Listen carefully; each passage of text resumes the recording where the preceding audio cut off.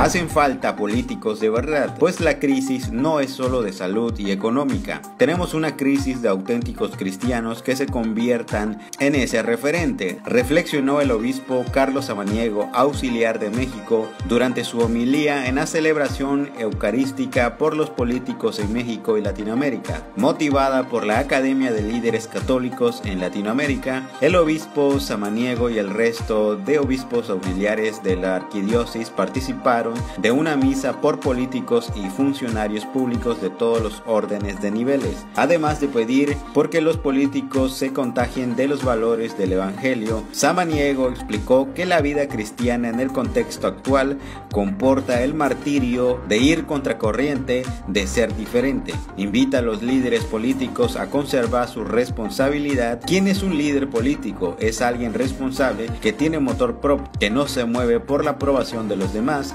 responsable porque no busca su bien propio, sino el de los demás. Una persona que pone en primer lugar el ser y el deber antes que el tener.